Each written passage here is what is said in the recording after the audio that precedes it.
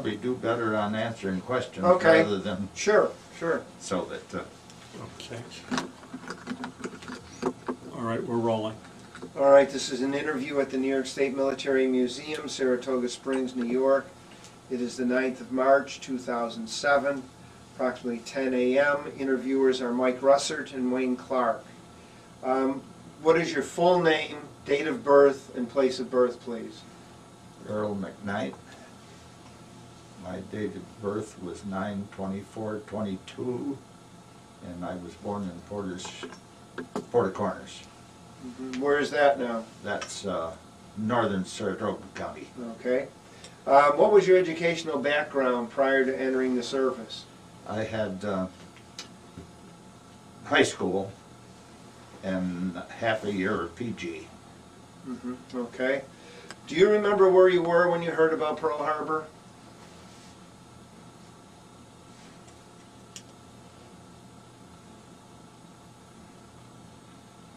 Just came home from church and uh,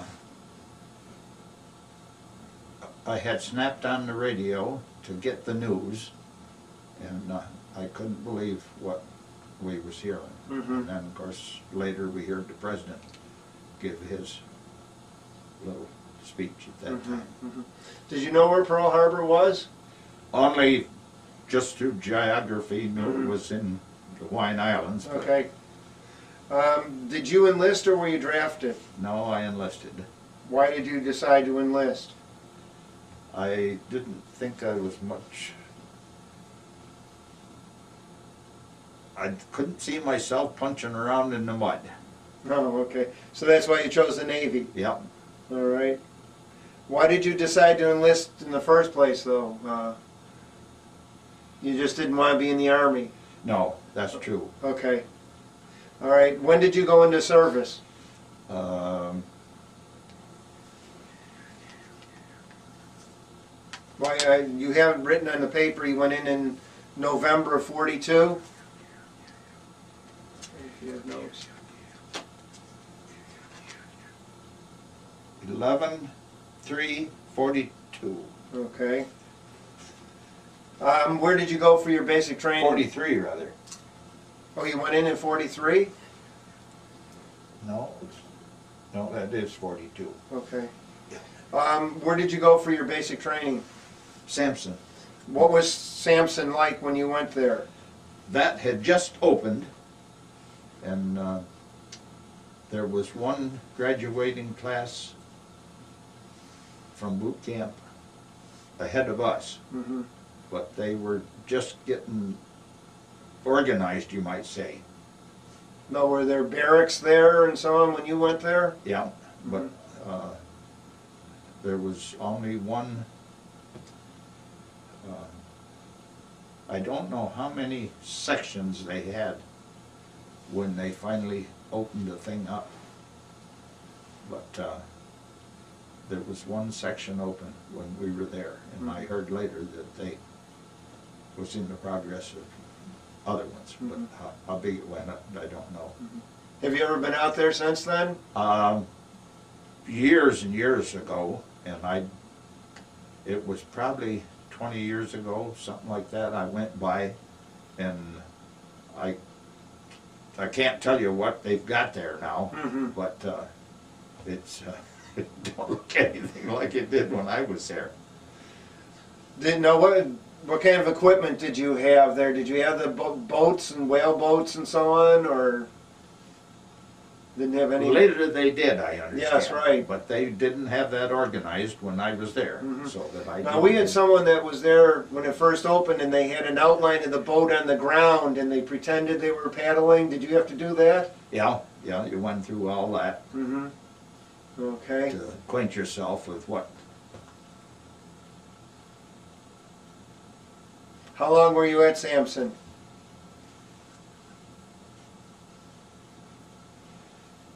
nine weeks, I think. I think basic training was nine weeks. And then uh, when we went back, uh, we was in the middle of a school year. And uh, I was chosen to go to next school in Memphis, Tennessee. And, uh, I, I hung around, not, or, uh, at least a month before we went. And I was, uh, given the job of being the chaplain's runner, Mm-hmm, or, and uh, that I enjoyed. mm-hmm. And I think it was through talking with the chaplain that I got into Mexico and Memphis. But, uh, Okay, now this was aviation mechanics? Yes. Now, how long were you there? How long were you in uh, Memphis? uh, My weeks schooling in Memphis was twenty-three weeks. And then we stayed there an extra two weeks for radar training.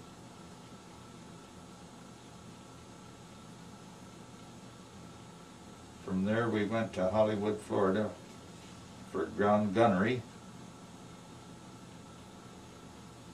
That was four weeks. And then we went to uh, Fort Lauderdale for aerial gunnery. And that was four weeks.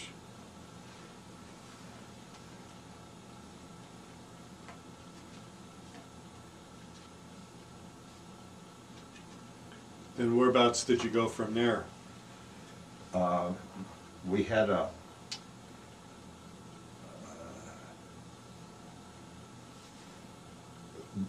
I don't know how to pull it, I, it's a delayed, it's a, a, they give you a short leave, Mm-hmm. but you take your leave on the way to your next, and that's when I went to join the squadron in uh, Seattle. Mm-hmm. What was the squadron that you joined? VC ten? Is that, uh, What kind of aircraft did they have? um, Grumman Avengers Okay. and um, the Wildcat was our fighter. I was trained as a turret gunner for the Avenger. Mm-hmm. I didn't score that good, so uh, when I, when we went to sea, I was transferred out of the squadron and uh, was ship's company of the Gambier Bay, Okay. but she was a backup for your gunnery.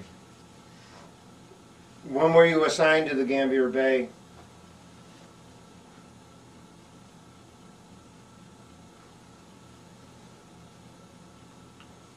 I don't remember, Mm-hmm.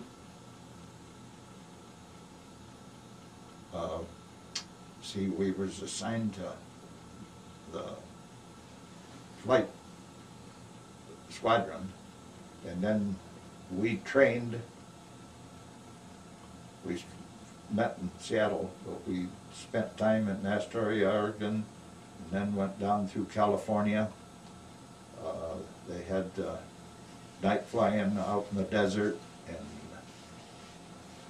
there was one place that they had arresting gear, so the pilots could land and catch the, The hook. the hook Mm-hmm. and uh, stuff like that. And uh, I'm not sure.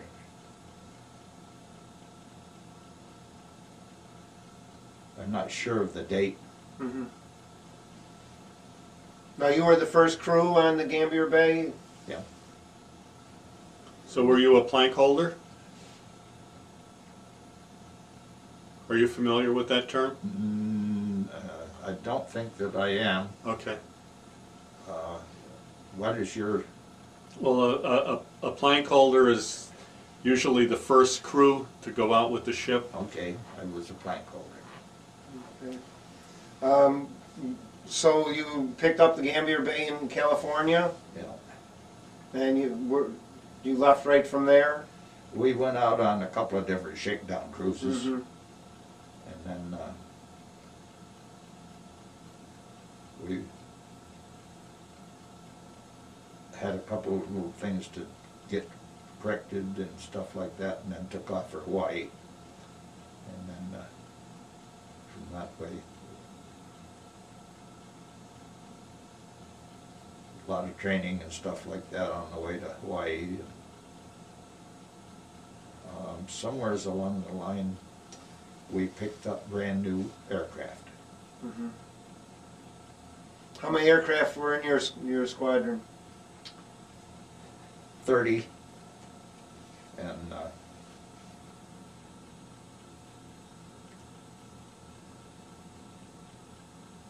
I think that was split half and half between fighters and TBMs.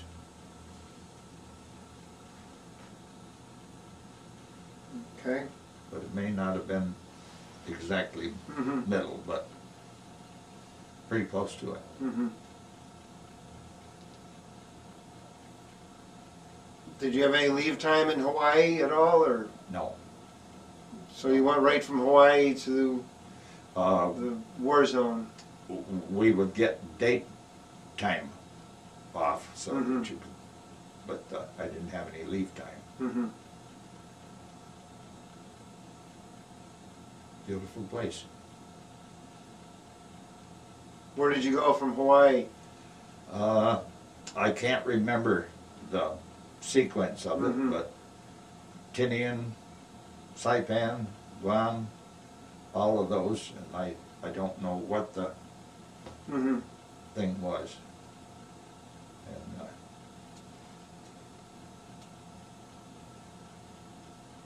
at one time, I got a, down in New Guinea, I got on shore, uh, on land. Well, we needed something, and, uh, I don't know why I was chosen to, with one of the brass to go pick up this part Mm-hmm. with him, at least I got, my put my feet on foreign soil in, in New Guinea. So you su- supplied air support at Tinian and Guam and uh, Saipan, Our, your carrier? uh, our pilots did, Mhm. yeah. Yeah. Um, did you ever have much mechanical problems with the planes, or? Uh, no great problems, no.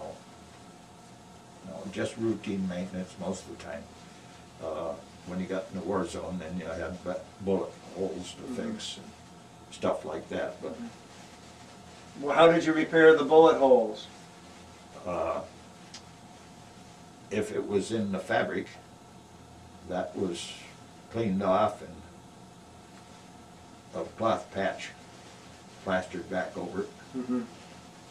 And uh, the metal, depending on how big it was, and if it was small one, stuff like that, you might put a, a bolt through it just to plug the hole, Mm-hmm. but uh,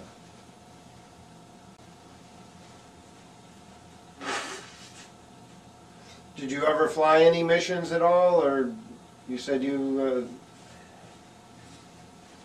When we were out there, the, of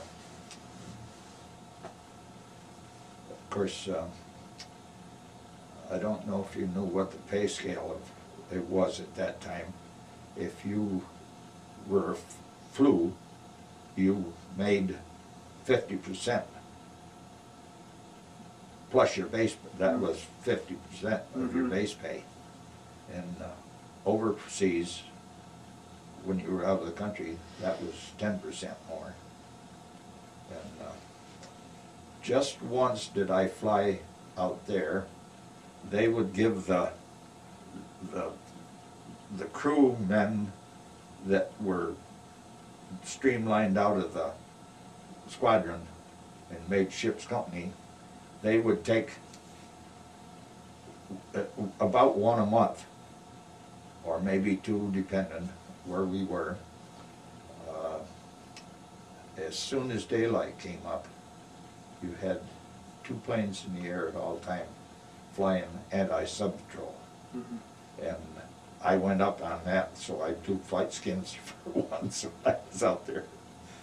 But uh, that was just a lazy And uh, pilot, knowing that I was trained for it, he says, do you wanna fire the machine gun? Cause that was a fifty caliber on a turret, Mhm. and, uh, you get to pop at the waves with it and stuff like that, but, but, uh,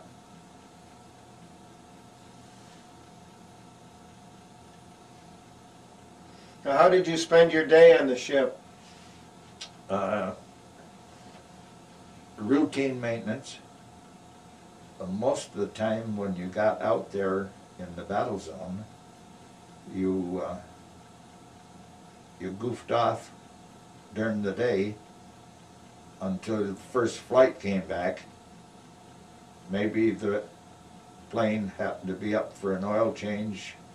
Uh, That, you don't do it by miles you do it fly, hours, flight time, Mhm. 30, 60, 90 hour checks. And uh, most of those are, they all have an oil change at that time, plus maybe change plugs or whatever.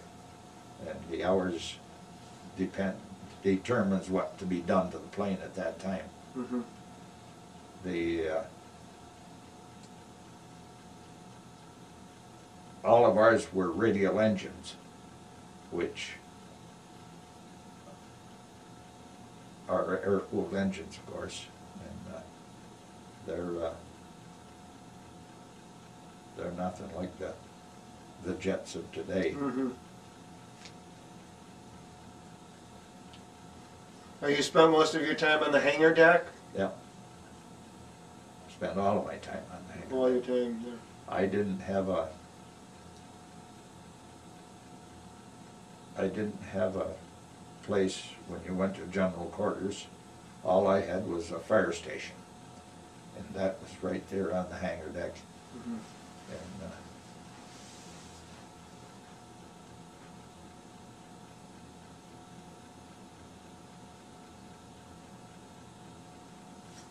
Was it uh, at uh, Saipan where your carrier had, your squadron had a lot of kills or something? I thought I read. Of course, I learned more about my sea duty by reading different books, not knowing what was going on, other Right. than Yeah. the planes took off and came back and got re-ammoed and gassed up and this and that. So Mhm. that, uh, at Saipan, I later learned a, a friend of mine that was in the Marines. uh, Each evening, our fleet would pull back to sea, away from the, the war zone there. And uh, the Marines would bet among themselves how many of the tin cans and carriers would be back the next day. Mm-hmm.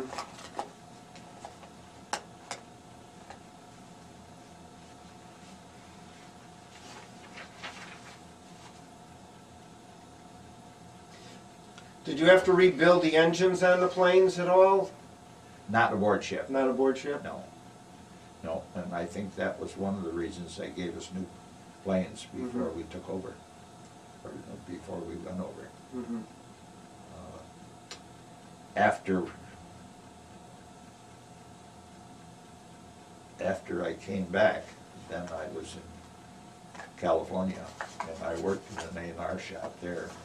And we didn't work on the engines, but we did make engine changes. Okay. Well, I guess we might as well get to your action off Samar. Samar. Samar, yes. What, uh, what do you remember of that? Not that much about the battle, of course. You didn't even know what was going on. You're in a closed up place and a lot of bullets flying here and there. and Mm-hmm. You Did you realize that your ship was under fire? Oh, yes, yeah. They, they announced everything over the loudspeaker system. So that, uh, yeah, they mistakenly thought when we first uh, sighted the enemy that it was some of our ships. Mm-hmm. And later they found out that it was the enemy. Mm-hmm.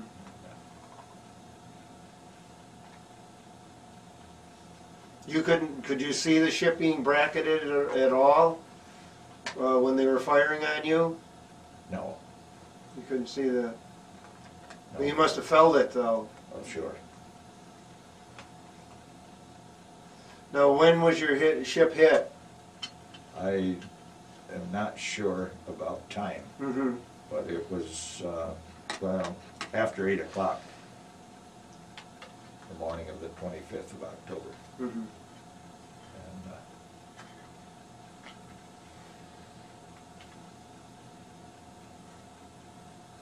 sometime after nine o'clock, we abandoned ship.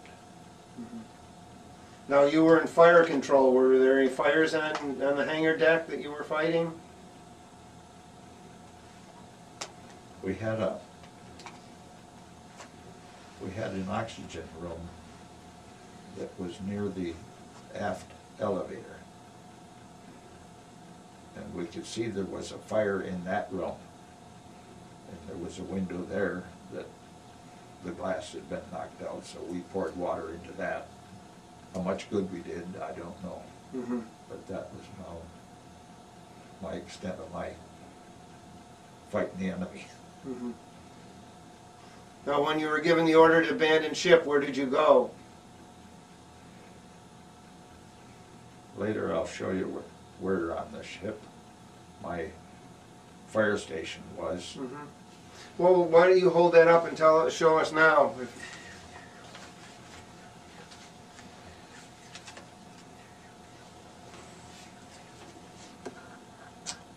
Now, this is a uh, Just inside of that,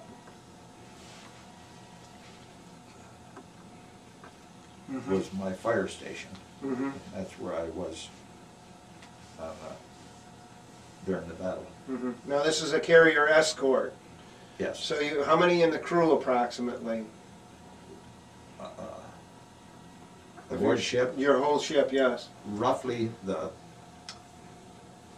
ship's company plus the squadron is roughly a thousand men Mm-hmm. in that. Yeah. Now, when, when you were on fire and and they announced the abandoned ship, what did you do? You were on the hangar deck, where did you go from there? Well, I did something that you're not supposed to do. We were listing pretty good. And uh, I stepped off that sponson right there and started swimming. Did you wear a vest at all? Did you have a vest on, or We had a belt, belt? Okay. and that uh, could be blowed up by hand. Mm-hmm, Yeah, you were supposed to have that with you at all times aboard ship. mm-hmm, that and a full uniform. You didn't necessarily have to have it on, but you had to have a full uniform with you at all Mhm. times. Now, you had, when did, did you inflate yours as soon as you hit the water, or? No, no, I swum like the dickens to get away from the boat, Mhm, because they would say that there would be an undertow mhm, when you, and then, of course, going off the low side of it instead of the high side like you're supposed to. mhm. And so I just swam by the ways before I inflated it. Did you see the ship go down? Yep. Could you describe that? when it rolled completely over before it went down and there, I would say, was as many holes below that water line as there was above. And reading about the battle years later, they were using armor piercing shells that went through and didn't explode or anything like that. So that, uh, Your hull was so thin, Yeah. right? Yeah, there was no, no armament, anything there Mhm. at all. When you were in the water, did you have uh, quite a few of the crew members around you? Yeah, How long were you in the water for? I'm not sure. As I said, it was sometime after nine o'clock on the morning of the twenty-fifth. Mhm. And sometime before daylight on the twenty-seventh, I was picked up. So you were in at least a day or over a day then. Yes, Were there many around you? the, the groups. Mm-hmm. Uh, We didn't have any floating device and stuff like that. They had a, uh, what am I saying? It would be a webbing type thing. And uh, the group that I was with, the wounded, they would let them get up on that, get out of the water, and the rest of us just held on to the side of it, that type of thing. Were there sharks around you? Did you see I any? never saw a shark around me, but hearing stories later about different groups, sharks got a number of the men, and they told stories about, for instance, one, uh, one guy sat with his feet hanging in the water, he was sitting on the edge, and the shark came up and bit him on the leg, and he reached down and gave him a rap with the back of his hand, and the shark let go and Mm. flew away. And another time, a guy was jumping back in the water after he had had his rest period up on the, and as he turned and slid size back, back in the water, a shark grabbed him and just ripped his hind end right off him, and he just lived for a few minutes before he bled to death. Mm. And as I say, that's all stories that I learned later, because I didn't see anything about anything with sharks. Mhm. But, Who picked you up eventually? uh, um, I think it was an LCI, Landing Craft, In- Craft Infantry. Mhm. And that is, uh, they were designed for crossing the English Channel to take the, our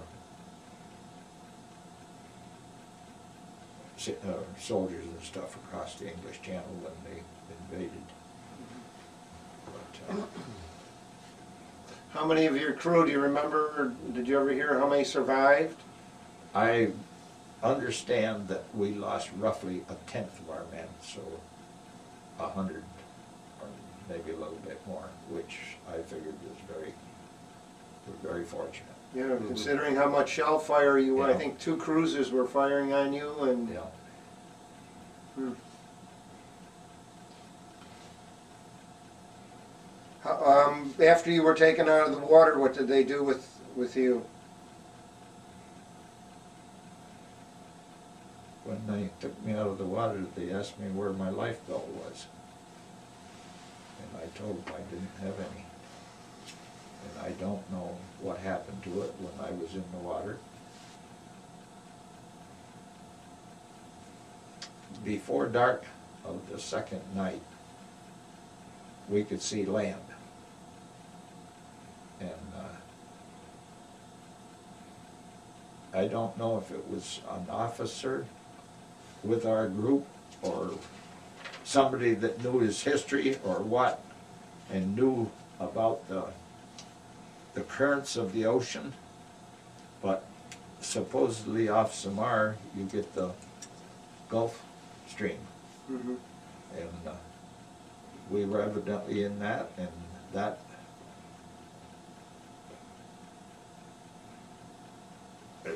I guess that we was somewheres in the neighborhood of seventy miles off Samar when we sank, and the Gulf Stream must have, in the next thirty plus hours, brought us in so we could see land. And, uh, he told everybody to get a hold of the side of the thing that was, had our wounded on and paddle towards shore. And I don't know if I passed out from being exhausted, went to sleep, or what. But when I woke up, I didn't have my life belt on. I didn't, I was all alone, and I could see searchlights.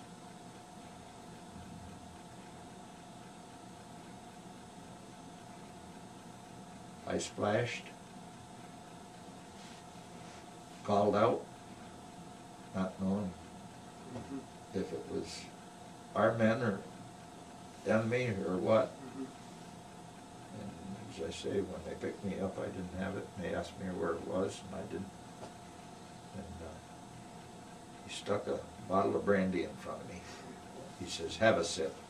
And I says, how big a sip? He says, have a good sip. And, uh, They stripped me with ex- ex- except for my shorts. And I crawled in the bunk. and That was afternoon before I woke up. Do you get sunburned much, or? When I went over, I had a, a, a- like a baseball cap.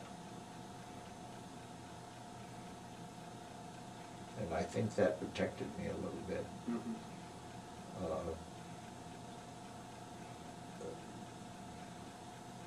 Survival training, they always tell you to kick your shoes off. And I got sunburned on the instep of each foot. And how that happened, don't tell me because you're in the water all the time. But we all got uh, sunburn on our face. Uh, uh, Most of us had an oil burn like, and we figured that was from the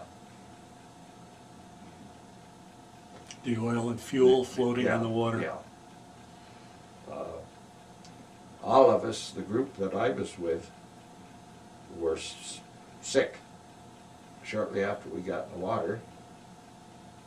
And uh, they, there again, your training told you to get on your back and stay there because if there was anything in this water that a shell went off or anything, your back can take more force than your stomach can, but uh,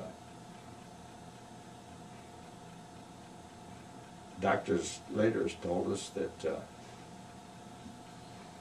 we were all sick from the force of charges going off. Mhm. Concussion. You know, and uh, most of us vomited enough that it was green colored. Mm. And he said we would, di- uh, our digestive juices, that we were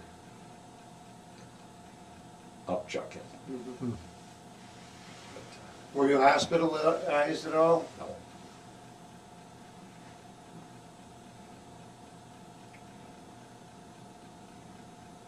Okay, after you were picked up by the, you were picked up by an LCI, where did you go? We Where were did they take you? transferred to an LST, Mhm. and then uh, we went down to, I can't tell you where we went to pick up the SS Lurline. It's one of Matson's lines, and that was a pleasure boat, and they operated somewheres out of, I'm not sure if it was uh, just Hawaii to Australia or whether they came to the States or whatever, but that was a, that was made into a troop transport Mhm. and, uh, Did they give you any kind of leave to, to recover from, from your experience? not until after our new orders came. We came back into the, we came back, uh, uh, straight back from Australia. And we came under the Golden Gate Bridge in San Francisco. On the first day of December. And we hung around there until the twentieth before we got our orders. And then I was given thirty days delayed orders to go to Ream Field, which is near San Diego, California. And I was there for roughly fifteen months, something like that. When my points finally added it up enough so I could get out of the service. Mm-hmm. What were your duties like in San Diego? Uh, That was just, uh, after I came back. Mm-hmm. Uh, That was just uh, regular mech duties. Mm-hmm. Uh, We would make engine changes, uh, wing changes, whatever the plane needed. Mm-hmm. Uh, Did you go up on any maintenance flights or test flights? No,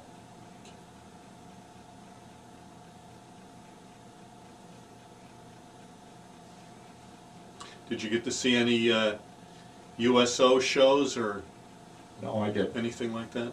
no. Now, where were you discharged? Uh, When I was in California there, a friend of mine from Texas, when he came back from leave, he rode his motorcycle back. And he got, uh, he got transferred again, and he wanted to sell the motorcycle, so I bought it. And I had that there, well, probably close to a year before my point system let me, and because I, I wanted to ride that home, I took my discharge in California, What kind of motorcycle was it? I knew it. thirty-eight sixty-one overhead Harley Davidson. Oh, boy. I was a Harley man.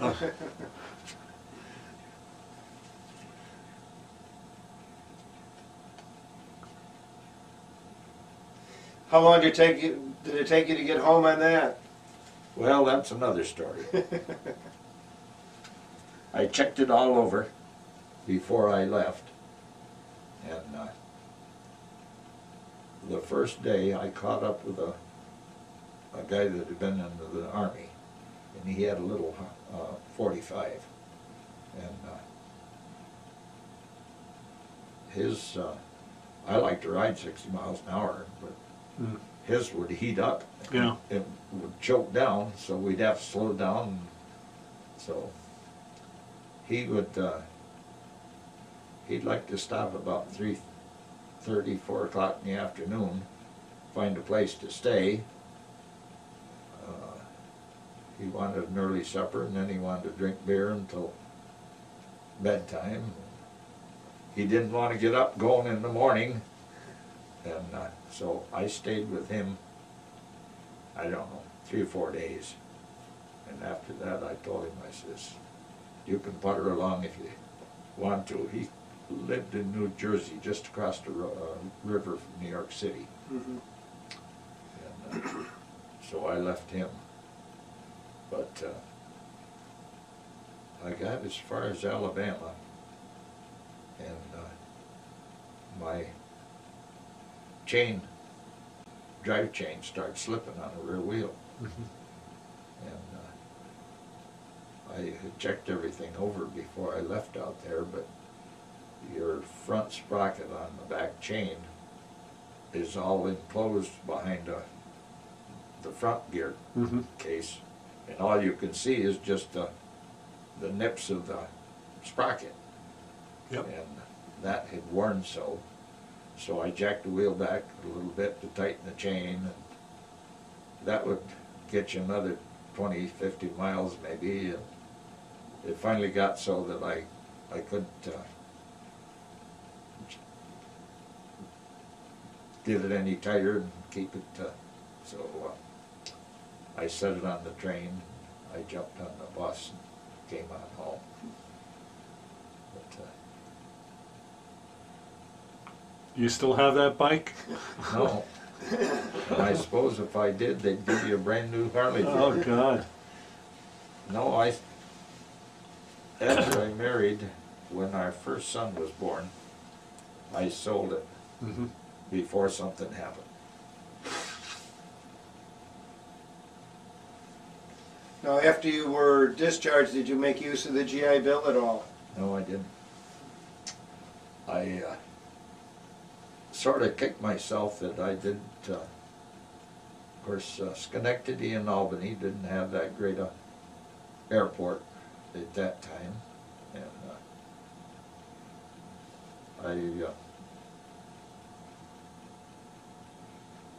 went to work for an international paper in the repair department. Spent thirty-six years there repairing parts of the mill. A lot of the work when I first went there was new installations. They were changing from uh, uh,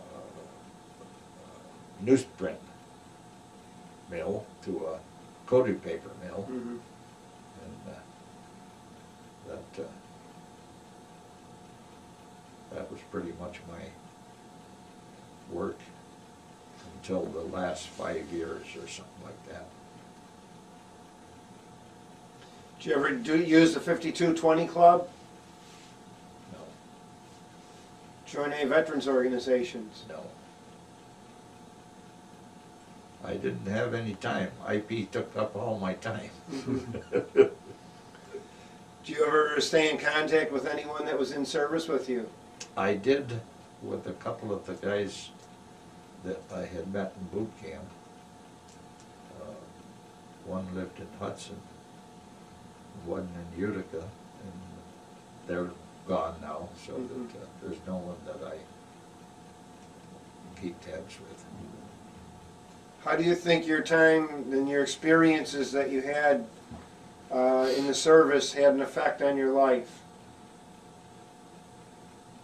I got to see some country, and there were parts of the world I'd never seen. Mhm. I don't know how it really affected my life in any way. That, uh,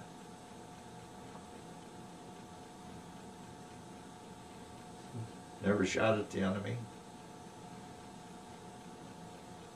Never saw the enemy, only for the fact that after we went over the side, they come sailing by, and we was wondering if they would strafe us in the water, which they did a lot of different battles that I read about, Mhm.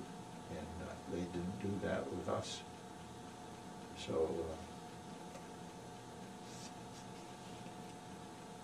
Did you ever, uh, I know at the time you didn't realize it, but after you read and so on, what do you think of Halsey's decision to leave your Taffy 3 basically alone?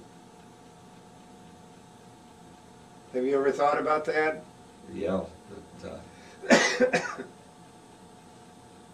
not knowing any more about it at the time than I did, and even now, we all bat a thousand on hindsight. Mhm, Yes, But, uh, right. It, uh, it, uh, it's just decisions that, uh,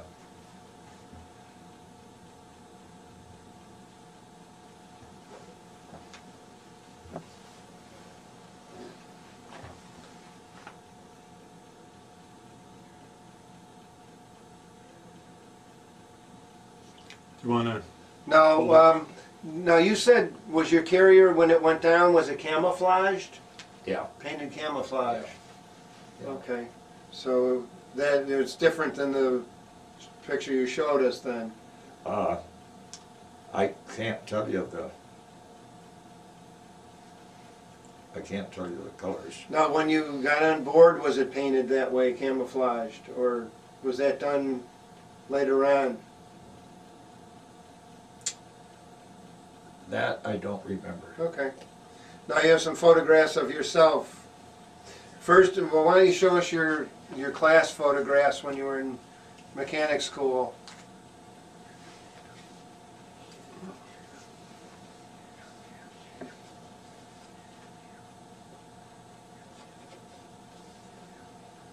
These were all, this, this one was taken in Memphis? Yeah.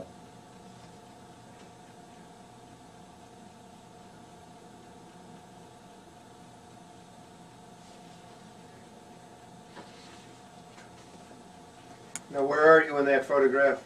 Right there. Okay.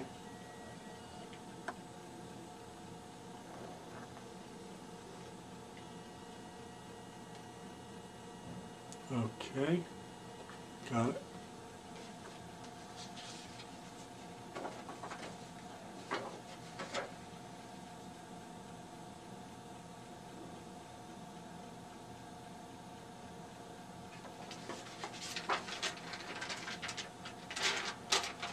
This is VC ten squadron personnel before we went to board ship.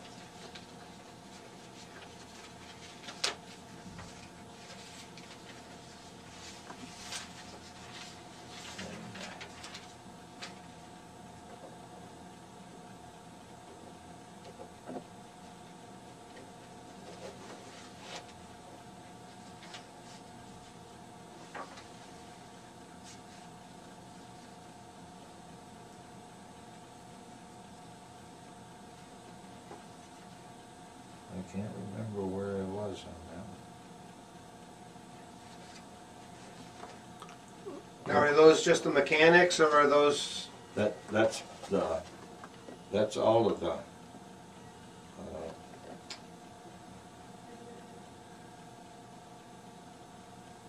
the entire squadron? yeah, that wasn't pilots, Oh, okay, just, but, uh, that was uh, mechanics and everything else that was with the squadron.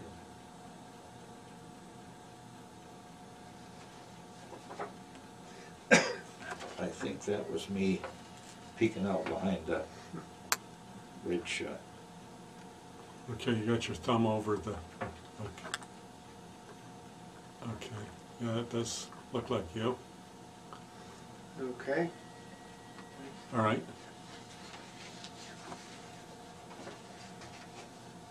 When, uh, before we went aboard ship, I was a plane captain. And, uh, I had to gas the plane and make sure the tires was blowed up and stuff like that. And seventy-two was my plane, which is the number that's on this plane. And, uh, So you had a team assigned to each plane, or, yeah, oh, okay, so you worked on the same plane all the time? yeah, What kind of plane was it that you worked in? that was a fighter. A Wildcat? That was me right there. Okay. Got it? All right. So uh, a plane captain then had to check it, so before it left on its flight, okay? When I went aboard ship, then Mhm. I went, worked in the, on the hangar deck, so that I was no longer a plane captain. Oh, okay.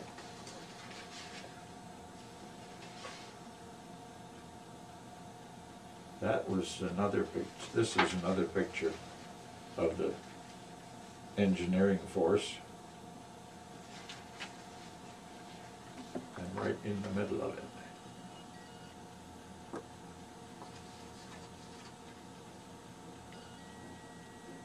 Okay,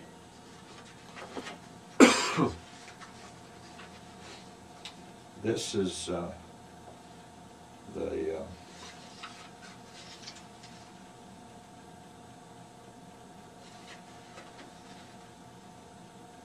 this is the group that was, uh, in, uh,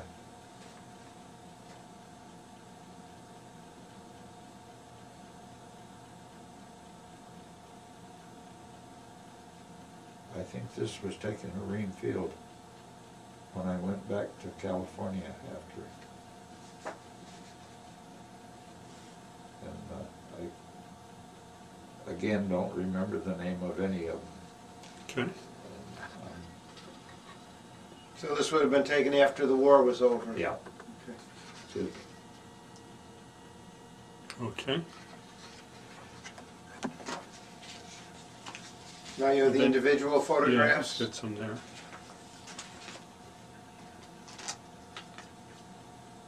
That's when I was in Hollywood, Florida. Before we did our uh, gunnery school. Okay.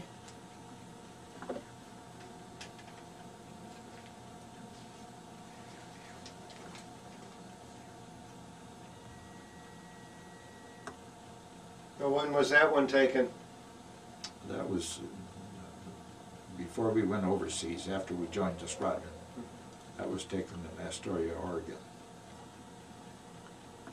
Okay. And, all right, and, and what was your uh, rank when you got out? What was your- AMM one C, first class. Okay, That's three stripes, that was aviation machinist, mechanic. mechanic, okay. Okay, well, thank you very much for your interview. That, uh, I don't know if you're interested in something like that. I, I can zoom right in on it. Oh, okay, was That's that what- when you crossed the equator? That's when I became a shellback. Mhm. Okay, What was that like? got it. All fun and marbles. That was when I got out of the service. Okay, great. You had to, had to carry that with you. Okay, well, thank you very much. I don't know. The, I don't know what happened to my medals and all that kind of stuff that we were supposed to wear. But somewheres along the line, in, in my discharge papers, I was allowed to wear the Victory Medal, World War II, Asiatic Pacific area with three stars, American Area Philippines Liberation, one star. Aircrew insignia. That was the thing that was on my Mhm. forearm on the one picture. Uh, Good Conduct Medal, Presidential Unit Citation, Task Force seventy-seven four three, ribbon bar with a bronze star. I, I don't know what happened to all of my ribbons over the years, they got thrown away or. You the whatever. medals themselves? Uh, No medals, no, No. no, Okay. just the ribbons Mhm. that we were allowed to wear. It, they was real uppy about everybody wearing all the ribbons they was supposed to. Well, you was supposed to show that you've been overseas. That was strictly for the girls' benefit, they said. All right, well, thank you very much.